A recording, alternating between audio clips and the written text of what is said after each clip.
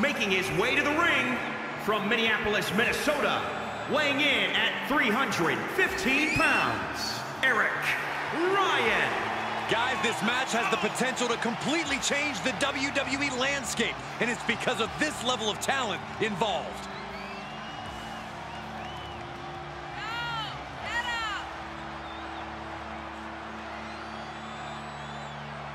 is a superstar who truly believes that the entire WWE Universe revolves around them. It's got to be this talent right here.